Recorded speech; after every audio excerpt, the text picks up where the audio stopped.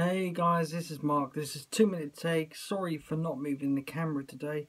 In a bit of pain, I've had bad vertigo all day and I've been spinning around like ever since I woke up. Stress related, that is. And uh, yeah, I haven't really been able to do much today.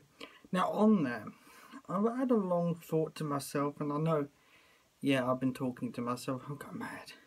I'm already mad as it is. But, um, I find that if you sit and think about life, we only regret the things we didn't do, and yet the things, and like not the things we did do. Uh, we always regret the things we didn't do.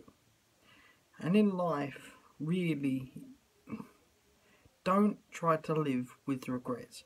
Live 110%.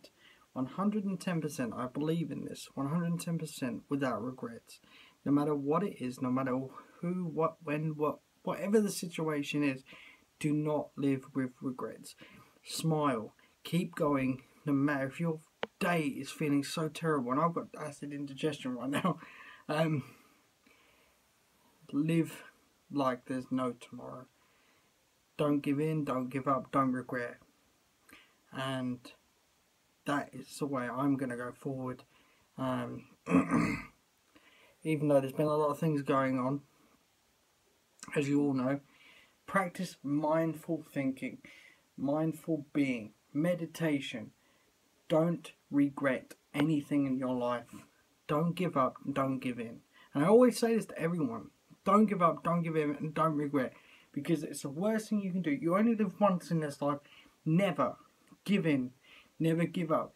Don't regret a thing whether it's a mistake, whether it's a good thing, whether it's a bad thing, never regret anything you do. Never regret it.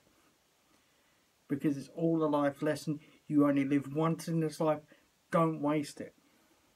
Never give in. Don't give up. Don't regret. That's the way I'm going to live. Anyway, I'll see you in the next video, guys. I've gone over the two minutes. Sorry again. But uh, I will see you in the next video. Take it easy, which will be tomorrow, by the way. Take it easy.